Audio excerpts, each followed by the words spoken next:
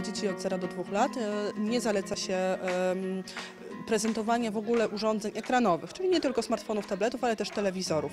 I takie są e, ustalenia Akademii, e, Amerykańskiej Akademii Pediatrii. E, Nasza fundacja, Fundacja Dajemy Dzieciom Siłę, miała taką kampanię właśnie dla dzieci, e, czy dla rodziców dzieci od 0 do 6 lat, Mama, Tata, Tablet.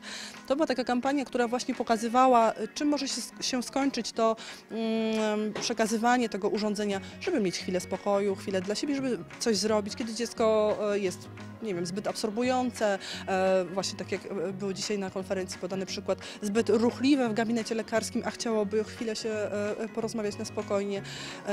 To jest kampania, do której szczególnie zachęcam e, do zapoznania się rodziców, ponieważ tam są e, szczegółowe porady, co należy zrobić w momencie, kiedy Mamy ochotę udostępnić dziecku tablet, ale też w momencie, kiedy dziecko już e, tego tabletu, te, tego urządzenia się domaga.